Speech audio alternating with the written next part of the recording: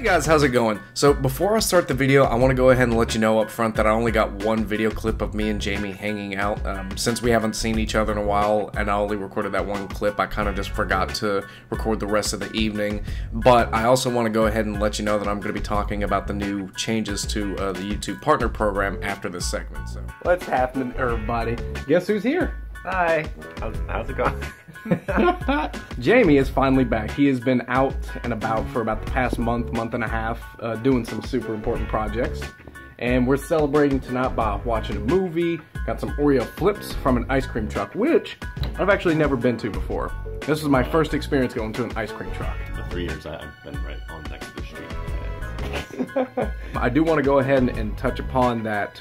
Uh, the whole thing with Logan Paul um, has caused YouTube to release a new update with the monetization program to where I can no longer be eligible for the monetization program. Um, we did finish the bloopers video for not advertiser friendly, so that's going to be out shortly. And Pizza Fight, another one where me and Christopher fight over the last slice of pizza, is going to be up very shortly too. So what, what have been the, the couple of projects that you've been doing recently? Uh, well, I've been helping a writer uh, just getting going with the scripts and how to sell it also, I went part of the trip when I was away, uh, when I was out east, it was also to see some family. And my brother had his first daughter, so that's nice. The precious memories.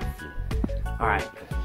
So now we're going to move on to the next segment. I want to go ahead and address what's been going on with this big change that everybody has gotten through YouTube. YouTube has now changed their partnership program to cover up the whole situation with Logan Paul. I want to go ahead and say that I know that there's no hard evidence or saying anything that this is because of him, but if you look at everything that's been going on, at least through the YouTube community and just all the news that you've been seeing that's going across YouTube, it's pretty much safe to assume that all these changes are happening because of what Logan Paul did. The majority of you that know me know that I have kind of an explosive temper, and whenever I got this email across my phone, I was severely upset. The traditional me would just start screaming, raving, and ranting, and I know that if I would get angry and I make a video right away, I might say some things that might either be wrong or I might not mean to say. After letting it sit on my mind for a couple of days, I've I think I can finally sit down and calmly and explain why I'm upset and how this just doesn't affect me. The first thing that makes me really upset about this is that we're we can no longer monetize videos. I do have a, a fan base and you guys are that fan base and it's incredible. Now, of course, with me getting like maybe 100 to 200 views per video, I'm barely making pennies. But it's not the main reason why I feel upset. The main reason why I'm upset is because whenever I was a part of the YouTube partner program, it felt like I was actually doing something productive. I felt like the work that I was doing, it was at least something that entertained you guys. So effective immediately by February 20th, I will no longer be a YouTube partner. Being a YouTube partner to me, I feel like I've accomplished something on this platform. I'm actually doing something that's greater than myself. You know, being a YouTube partner, having that as a title on your on your channel is something that makes you feel special. That that's the main thing that has me hurt and upset. Having that label as a YouTube partner being taken away from me hurts because I've worked for a good amount of years to get to where I am now. Even though the the content that I put out I don't really like myself, just like this, this video and the vlogs and stuff like that, I'm not a fan of because I really want to do creative things like what Christopher and, and the rest of Deep Sheep does. Plus, with this new promotion that I got at work, it, my days off are completely random, so I can't set a specific day each week to do something because the next week I'll probably be working that day. The thing that also really hate that I hate about this is that it's not just affecting me, it's affecting others. And there are thousands and thousands and thousands of other small content creators like me that actually do like really good work. Like I've seen some small tech channels offering like tech support to like how to speed up your computer, how to scan for viruses, and they're not a huge channel. And and I've also seen people like uh oh, here's how we can help you file your taxes. Small channels that actually do contribute to the community that was a part of the YouTube partner program is now no longer getting paid for. Christopher did not get affected by it, but he is just as angry as the rest of us because he started out in the same pos- position we we are. And some bigger um, content creators upset by this too because at one point they were in the same shoes that we are, the small content creators. And and there are some larger content creators that just flat out don't care. I'm not going to go into specifics, but there are some of them that started out where we were and they just don't care anymore. They they finally made it. They're doing their own thing. They don't care. It doesn't affect them, which fine. Okay. You you have your content, you're successful. That's fine.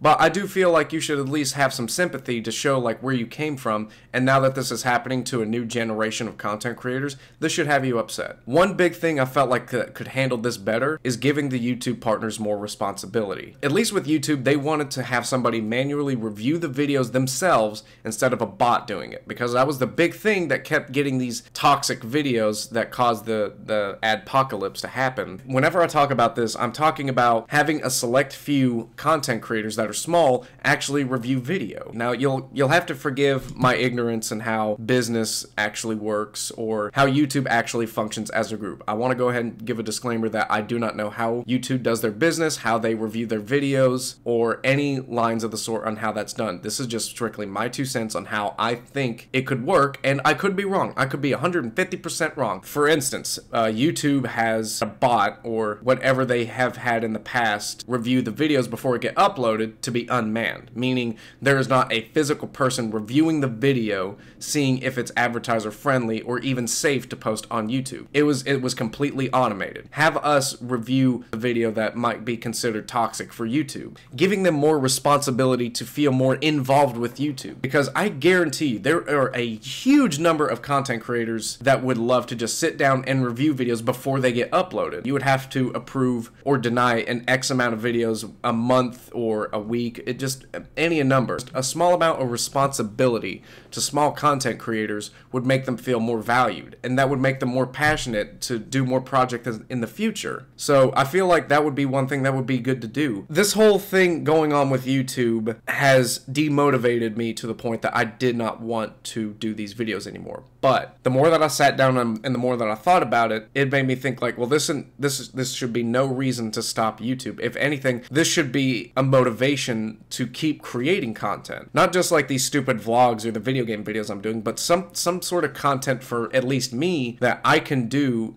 to show that I actually have skill or talent or something that makes me stand out as a content creator. And that's one thing I want to do is armor making. And that's not just limited to me. There are thousands of other people that want to share their talents and abilities and just overall they just want to share things with the world. Now I will go ahead and say this. What happened with Logan Paul has killed content creators. You just have to be careful with what you film and upload because of his mistake. It is affecting thousands and I mean thousands of people across the country and probably the world. Yes, I am angry at Logan Paul. I don't know if I can forgive him as of right now. But it is not entirely his fault that my channel got demonetized. It's YouTube's. YouTube has put too many specific rules and guidelines because they have no competitors. They have no one to match up with as far as video sharing websites. YouTube is the number one video sharing and video viewing website in the world. They see that and they use that because that's they're looking at this since they have no competition. They can do what they want and no one can outstop them. They took the route that was going to save them the most money in the long run. Instead of dividing up responsibilities between YouTube partners and smaller YouTube partners and content creators, they took it out on every single individual small YouTube partner and content creator. The only thing we can do now is just speak out. But that's pretty much going to be for the end of this video. Um, I do hope you guys have enjoyed the video. I'm sorry I kind of got on a, on a serious topic,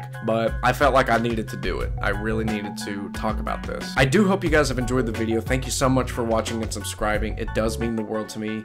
I do see you guys in the comments. Thank you so much. You guys are incredible. Without you guys, I wouldn't be doing this.